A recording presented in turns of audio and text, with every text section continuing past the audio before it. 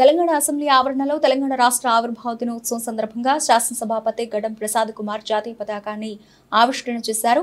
ఈ కార్యక్రమంలో తెలంగాణ రాష్ట్ర ఉప ముఖ్యమంత్రి ఆర్థిక శాఖ మంత్రి మల్లుభట్టి విక్రమార్క శాసనమండలి చైర్మన్ గుత్త సుఖేందర్ రెడ్డి మంత్రులు తుమ్మల నాగేశ్వరరావు పొన్నం ప్రభాకర్ ప్రభుత్వ డోర్నకల్ ఎమ్మెల్యే డాక్టర్ రామచంద్ర నాయక్ ప్రభుత్వపు వేములవాడ ఎమ్మెల్యే ఆదు శ్రీనివాస్ శాసనసభ్యులు మురళీ నాయక్ వెడ్మబోజు శాసన మండలి సభ్యులు అసెంబ్లీ సెక్రటరీ అధికారులు సిబ్బంది పోలీసు అధికారులు పాల్గొని ఈ కార్యక్రమాన్ని విజయవంతం చేశారు. జయ జయ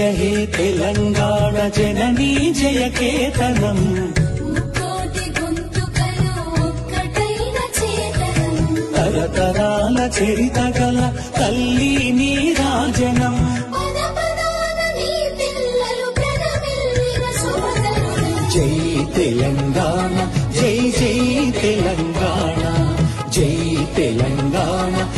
జై తెలంగాణ.